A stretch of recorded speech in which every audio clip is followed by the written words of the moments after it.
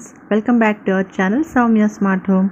ఇవాళ మన ఛానల్లో వీడియో ఏంటనేది మీరు ఆల్రెడీ తమిళని చూడంగానే అర్థమైపోయింది కదండి. చాలామంది ఏమనుకుంటారంటే మనం డైలీ వీక్లీ కూడా డైలీ కూడా క్లీన్ చేస్తూనే ఉంటాం. స్టవ్ పై పార్ట్ వరకు క్లీన్ చేసుకొని మన స్టవ్ చాలా నీట్గా ఉంది అనుకుంటూ ఉంటాము. అదే ఒక పెద్ద మిస్టేక్ అనమాట సో స్టవ్ని పైన వరకు క్లీన్ చేసుకుంటే కాదు knobs burners and mainly back side కూడా చాలా డర్టీగా ఉంటుందండి. ఒక్కసారి అదంతా కూడా క్లీన్ చేసుకోవాలి మంత్లీ ఒక్కసారన్నా. ఆ డీప్ క్లీనింగ్ నేను ఎలా చేస్తున్నా అనేది నేను ఇవాళ మీతో షేర్ చేసుకోబోతున్నాను. ప్రతి ఒక్కళ్ళకి కూడా ఈ వీడియో చాలా యూస్ఫుల్ అవుతుందండి. సో మిస్ అయిపోకుండా ఎండింగ్ వరకు చూడండి. వీడియో అంతా చూసాక మీకు నచ్చితే లైక్ షేర్ సబ్స్క్రైబ్ చేసుకోండి.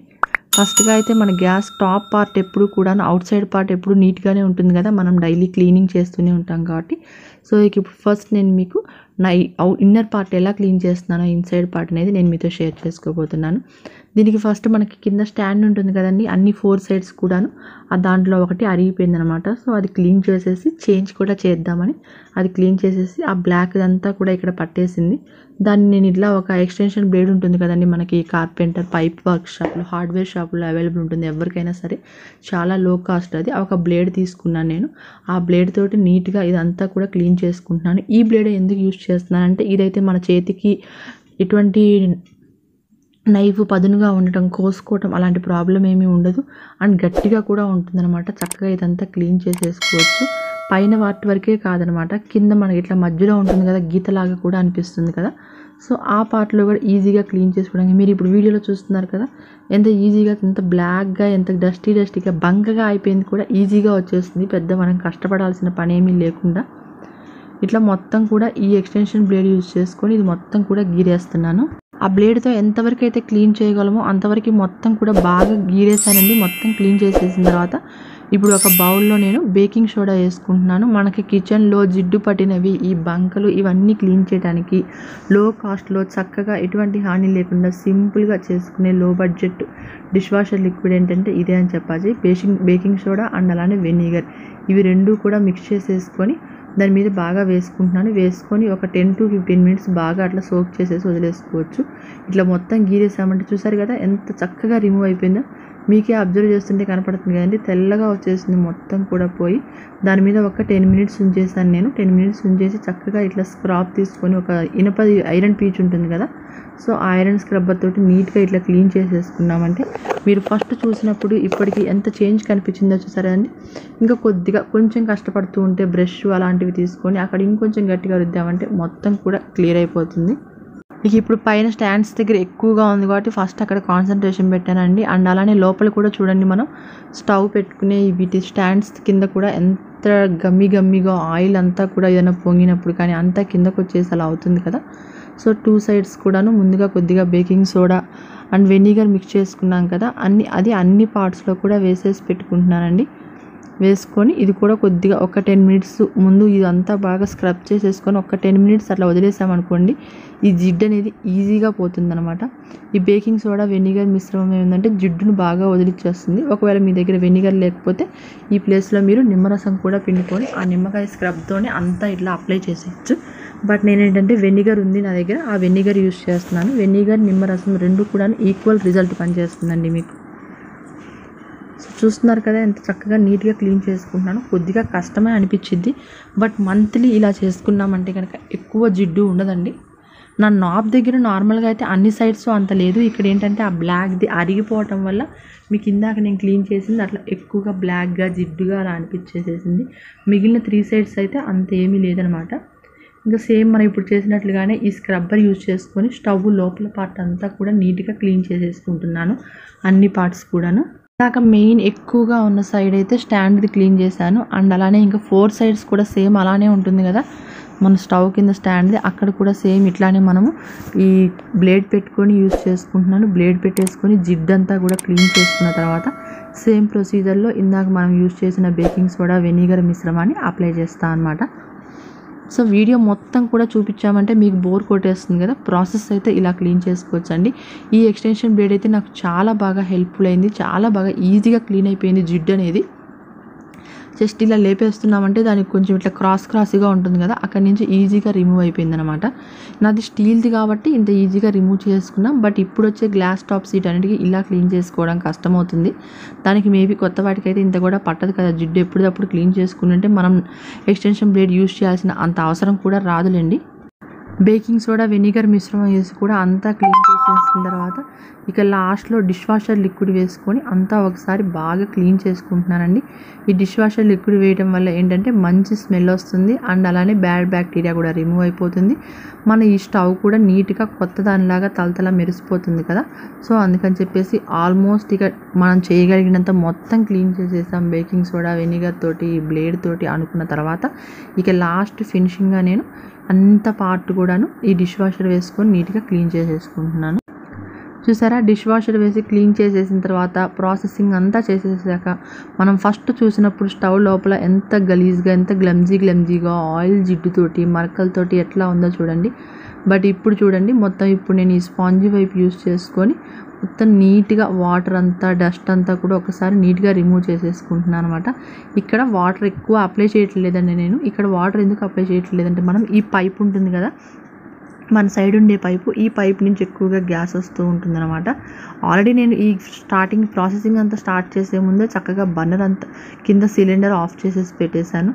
సిలిండర్ ఆఫ్ చేసి సిలిండర్ నుంచి ఈ పైప్ అనేది రిమూవ్ చేసేసిన తర్వాత ఇక్కడ సైడ్కి పెట్టుకొని నీట్గా క్లీన్ చేసేసుకుంటున్నాను. ఇదైతే మస్ట్ అండ్ షుడ్గా చేయాలండి. సిలిండర్ ఆఫ్ చేసేసినా సరే పైప్ అనేది రిమూవ్ చేసేసామంటే కొద్దిగా మనకి సేఫ్ సైడ్గా ఉంటుందన్నమాట. గ్యాస్ ఎక్కడ లోపల ఉన్నా సరే నీట్గా రిమూవ్ అయిపోతుంది. ఇంకా వాటర్ అనేది మరి ఎక్కువగా పోసేయకుండా ఇట్లాంటి స్పాంజ్ స్పాంజ్ వైప్స్ అయితే అందరి ఇళ్ళల్లో అవైలబుల్ ఉంటాయి కదండి. ఈ స్పాంజీ వైప్ కానీ లేకపోతే మనకి నార్మల్ బయట ఎల్లో కలర్ స్పాంజీ దొరుకుతుంది కదా. సో దాంతో కానీ మీకు ఏది అవైలబుల్ ఉంటే ఇది ఏమీ లేకపోతే ఒక తడి క్లాత్ తీసుకొని కూడా శుభ్రంగా దాంతో తుడిచేసుకోవచ్చు అనమాట ఇప్పటివరకు స్టవ్ ఇన్సైడ్ పార్ట్ అంతా క్లీన్ చేశాం కదండి. సో ఒక్కసారి అవుట్ సైడ్ కూడా డిష్ వాషర్ అదంతా వేసుకొని నార్మల్గా ఇది ఎప్పుడూ క్లీన్ చేస్తూనే ఉంటాను. కాబట్టి ఎక్కువగా ఆయిల్ ఉండదు కాబట్టి బేకింగ్ సోడా ఆ మిశ్రమాన్ని నేను యూజ్ చేయట్లేదు.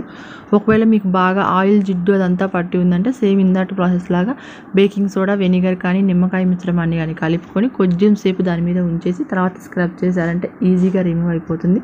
బట్ నేనైతే అక్కడ అది ఏమీ లేదు కాబట్టి నెక్స్ట్ ఇక ఈ పార్టింగ్ చేస్తున్నాను అనమాట ఇది మొత్తం క్లీన్ చేసేసుకున్న తర్వాత ఇక్కడ మనం స్టాండ్స్ పెట్టుకుంటాం కదండి కిచెన్ స్టవ్ దగ్గర బర్నర్స్ దగ్గర. ఆ స్టాండ్స్ దగ్గర కొద్దిగా ఆయిల్ జిడ్డు అదంతా కూడా పొంగినవి ఉంటాయి కదా అవి ఇవి. సో అవి పట్టేసి అక్కడ అలానే ఉండిపోయింది స్క్రూ దగ్గర. మనం తోమేటప్పుడు నార్మల్గా ఎంతసేపు తోమినా అది రావట్లేదు. సో ఇప్పుడు నా దగ్గర ఉన్న ఈ బ్లేడ్ యూస్ చేసుకొని నీట్గా అదంతా కూడా తీసేస్తున్నాను అనమాట సో నైఫ్ యూస్ చేసుకొని ఆ ఆ స్క్రూ దగ్గర ఉన్నదంతా క్లీన్ చేసేసిన తర్వాత నార్మల్గా మళ్ళీ మనం డిష్ వాషర్ లిక్విడ్ వేసుకొని అంతా కూడా క్లీన్ చేసేస్తున్నానండి. ఇక స్టవ్ అంతా కూడాను. ఎక్కడైతే ఆయిల్ జిడ్డు అవన్నీ ఉన్నాయో అది మనకు వీలైనంత వరకు స్క్రబ్బర్ యూస్ చేస్తున్నాను. ఆ స్క్రబ్బర్ లా రాని చోట ఈ బ్లేడ్ పెట్టుకొని యూస్ చేసేసుకుంటున్నాను అనమాట ఇలా టాప్ సైడ్ మొత్తం కూడాను అవుటర్ సైడ్ మొత్తం కూడాను స్టవ్ క్లీన్ చేసేసుకుంటున్నాను. ఇక స్టవ్ పర్ఫెక్ట్గా వర్క్ చేస్తుంది లేని బర్నర్స్ని పట్టే కదా అందరికీ తెలిసేది. సో ఇప్పుడు మనం బర్నర్స్ క్లీనింగ్ దగ్గరికి వచ్చేసాము. Deep క్లీనింగ్లో this is the main parting కదా. సో దీన్ని నేను కొద్దిగా ఏం చేశానంటే కొంచెం సేపు ముందు నేను వాటర్లో సోక్ చేసి పెట్టానండి. మన డిష్ వాషర్ లిక్విడ్ వేసుకొని ఆ వాటర్లో సోక్ చేసుకున్న తర్వాత మన ఈ బేకింగ్ సోడా వెనిగర్ మిశ్రమంలో కొద్దిగా ఓల్డ్ టూత్ తీసుకొని దాన్ని మొత్తాన్ని కూడా బాగా క్లీన్ చేసేసుకుంటున్నాను. ఎందుకంటే దీనికి కూడా కొద్దిగా జిడ్డు అదంతా కూడా పడుతుంది కదండి. అందుకని చెప్పేసి దీనికి కూడా బాగా బేకింగ్ సోడా వెనిగర్ మిశ్రమాన్ని నాకైతే దీనికి ఒక చిన్న ప్యాకెట్ పట్టిందండి. జస్ట్ ఈ స్టవ్ లోపల పార్టు బర్నర్స్ ఇవంతా క్లీన్ చేయడానికి ఒక చిన్న ప్యాకెట్ బేకింగ్ సోడా పట్టిందనమాట. అంత ఎక్కువగా క్లీన్ చేసేసాను. బర్నర్స్ కూడా నీట్గా ఒకసారి అందులో సోక్ చేసేసుకొని తర్వాత టూత్ పేస్ట్ అప్లై చేసుకొని రెండు బర్నర్స్ కూడా నీట్గా క్లీన్ చేసేసుకున్నాను. పర్ఫెక్ట్గా బ్రష్ పెట్టుకొని ఎక్కడ హోల్స్ అనేది ఎక్కడ క్లోజ్ అయిపోకుండా హోల్స్ అంతా లోపలికి వెళ్ళి నీట్గా క్లీన్ అయ్యే వరకు క్లీన్ చేసేసుకోవాలి. ఇలా క్లీన్ చేసేసిన తర్వాత నార్మల్ ట్యాప్ కింద వాటర్ పెట్టేసి నీట్గా బర్నర్స్ అన్నింటిని కూడా వాటర్ కింద క్లీన్ చేసేసుకోవాలండి. సో దాని ద్వారా మన లోపల ఎక్కడ ఏదైనా క్లీ మిరికిపోయినా సరే ఆ లిక్విడ్ మొత్తం కూడా వెళ్ళిపోతుంది. ఆ తర్వాత ఒక పొడి బట్ట తీసుకొని మొత్తం కూడా తుడిచేసుకొని ఒక్కసారి మనం ఊదేసామనుకోండి లోపల ఉన్న ఎయిర్ బబుల్స్ అన్నీ కూడా వెళ్ళిపోతాయి. ఇక ఇప్పుడు మనం దీన్ని సన్లైట్లో పెట్టుకొని ఒక టూ త్రీ అవర్స్ వరకు పూర్తిగా సన్లైట్లో ఉంచేసుకోవాలి. ఆ తర్వాత నేను ఒక్కసారి ఈ టాప్ పార్ట్ని మిగిలింది కదండి ఇంకా కొద్దిగా బేకింగ్ సోడా వెనిగర్ మిశ్రమం మిగిలింది దీనికి తీసుకుని బర్నర్స్ క్లీన్ చేయగా. సో ఎలాగూ ఉంది కదా అని చెప్పేసి అది మొత్తం కూడా దీనికి అప్లై చేసేసి స్టవ్ అంతా కూడా క్లీన్ చేసేసాను. ఇక ఆ తర్వాత నార్మల్గా మన డిష్ వాషర్ ఉంటుంది కదా డిష్ వాషర్ లిక్విడ్. ఈ డిష్ వాషర్ లిక్విడ్ తోటి స్టవ్ పార్ట్ అంతా కూడాను అవుట్ సైడ్ కూడా నీట్గా స్క్రబ్బింగ్ చేసేసుకున్నాను అనమాట స్క్రబ్బింగ్ పార్ట్ మొత్తం అయిపోయిన తర్వాత నీట్గా వాటర్ వాష్ చేసుకున్నానండి స్టవ్నంతా కూడాను. వాటర్ వాషింగ్ చేసుకొని ఎక్కడ కూడాను లిక్విడ్స్ ఫోమ్ ఇవేమీ కూడా లేకుండా హ్యాండ్ తోటి నీట్గా క్లీన్ చేసేసుకున్నాను. ఇంతటితో మీరు క్లీనింగ్ రొటీన్ అయిపోయింది అనుకుంటున్నారు కదండి? కాదండి మెయిన్ ఇక్కడ ఉంది చూడండి నాబ్. ఈ నాబ్ రిమూవ్ చేశాక ఎంత డస్ట్ వచ్చిందంటే అసలు ఇంత ఉందా అనిపించింది. స్టవ్ క్లీనింగ్ మొత్తం అయిపోయింది అనుకున్న తర్వాత దాంట్లో ఉన్న వేస్ట్ పార్టికల్ మొత్తం ఇక్కడే చేరిందేమో అనిపించింది అనమాట మనం క్లీన్ చేసేటప్పుడు వచ్చిన ఫోమ్ కానివ్వండి సోప్స్ చాలా ఇయర్స్ నుంచి అసలు నేను ఎప్పుడు కూడా క్లీన్ చేయలేదు. ఇక్కడ ఇంత డస్ట్ ఉంటుందని నేను ఎక్స్పెక్ట్ చేయలేదు అనమాట సో చాలా స్కేలింగ్ లాగా జిడ్డు లాగా అట్లా ఒకటని కాదు చాలా పట్టేసింది. దీన్నంత దీన్ని కూడా నేను సేమ్ ఈ బ్లేడే యూజ్ చేసుకొని మొత్తం కూడా తీసేస్తున్నాను అనమాట ఇంత ఉన్నది మనం ఎంత స్క్రబ్బర్ యూజ్ చేసినా కానీ రాదు. సో ఈ బ్లేడ్ తోటి కొద్దిగా ఫాస్ట్గా అయిపోయింది నాకు. ఈ బ్లేడ్ యూజ్ చేసుకొని జాగ్రత్తగా ఇక్కడ మళ్ళీ మధ్యలో మనకి గ్యాస్ పైప్ లైన్ కూడా ఉంటుంది కాబట్టి సో ఇక్కడ అసలు వాటర్ అనేది మనం అప్లై చేయకూడదు. ఇక్కడ నుంచి మనకి ఫైర్ అదంతా కూడా ఆపరేట్ అవుతుంది కదా ఈ నాబ్ నుంచి. సో ఈ పార్ట్లో వాటర్ ఇక్కడ టచ్ అనేది అవ్వకుండా జాగ్రత్తగా ఈ బ్లేడ్ యూజ్ చేసుకొని మొత్తం కూడా ఫస్ట్ దీన్ని అంతా ఇలా రిమూవ్ చేసేసుకున్నాను అండి. మనం ఏమనుకుంటున్నామంటే రోజు స్టవ్ పార్ట్ వరకు పైన క్లీన్ చేసేసాం అంతా క్లీన్ అయిపోయింది అనుకుంటున్నాము. బట్ అక్కడ వాటర్ వెళ్ళేసి ఫోమింగ్ కానివ్వండి మనం క్లీన్ చేసినప్పుడుది పొంగినప్పుడుది మన చేతితో పట్టుకున్నవి అది అన్ని మురికి వెళ్ళి ఇక్కడ చాలా ఎక్కువగా పట్టేస్తుంది.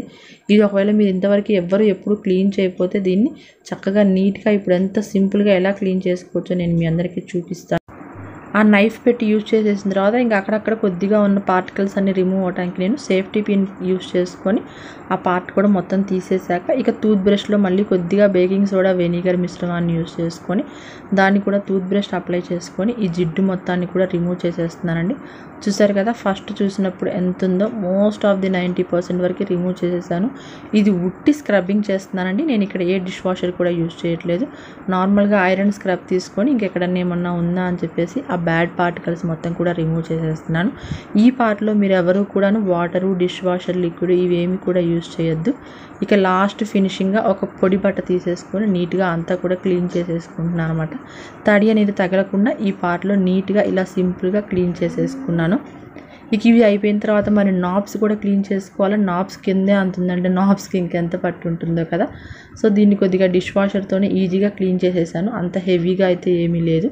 డిష్ వాషర్ యూజ్ చేసుకొని స్క్రబ్బర్ యూజ్ చేసుకొని నీట్గా ఇట్లా క్లీన్ చేసేసుకున్నాను అనమాట ఇక ఇవి మొత్తం కూడా క్లీన్ చేసేసుకొని సన్లైట్లో అన్ని బర్నర్స్ నాబ్స్ స్టాండ్స్ అన్నీ కూడా ఆర్నిచ్చేసాక ఇక స్టవ్కి ఫిక్స్ చేసేసుకొని కౌంటర్ టాప్ అంతా కూడా నార్మల్గా మనం డైలీ ఎలా క్లీన్ చేసుకుంటామో ఆ వర్క్ మొత్తం కూడా కానిచ్చేసేసాను.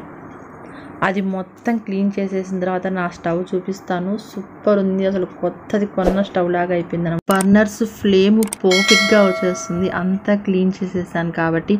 ఇక నాబ్స్ కూడా సూపర్ అంటే సూపర్ క్లీనింగ్ అయిపోయింది. కొత్త వాటికి కొన్నట్లుగా మెరిసిపోతున్నాయి. ఎక్కడ ఏమీ కూడా లేకుండా.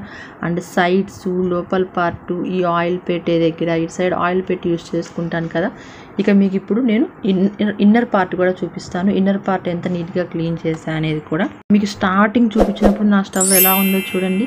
అండ్ ఇప్పుడు చూడండి ఎంత నీట్గా ఉందో ఇంకా కొద్దిగా అక్కడక్కడ ఉంది. అది కూడా ఒక రెండు సార్లు క్లీన్ చేశానంటే పోతుంది.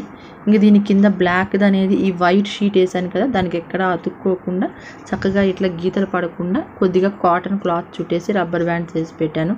స్టాండ్స్ అవన్నీ కూడా క్లీన్ చేసేసి పెట్టాను. సూపర్ కదా నా స్టవ్ క్లీనింగ్ మీకు కూడా నచ్చింది కదా? సో మన స్టవ్ ఎప్పుడు కొత్త దానిలాగా ఎక్కువ లైఫ్ రావాలంటే కనీసం monthly or forty five fifty డేస్కి టూ మంత్స్కి ఒకసారన్నా సరే కంపల్సరీ కంపల్సరీగా ఇలా డీప్ క్లీనింగ్ చేసుకోవాలన్నమాట. సో ఎలా ఉందండి? మన నా స్టవ్ డీప్ క్లీనింగ్ మీ అందరికీ కూడా నచ్చింది అనుకుంటున్నాను. మన నచ్చితే కనుక కంపల్సరీగా నా వీడియోని లైక్ చేయండి. ఇంకా ఎంతోమందికి యూజ్ అవడం కోసం మన ఈ వీడియోని షేర్ చేయండి. ఓకే? మరో మంచి యూస్ఫుల్ వీడియోతో మీ అందరి ముందుకి కూడా వస్తాను. అంతవరకు see you bye keep loving and keep watching Soumya smart home.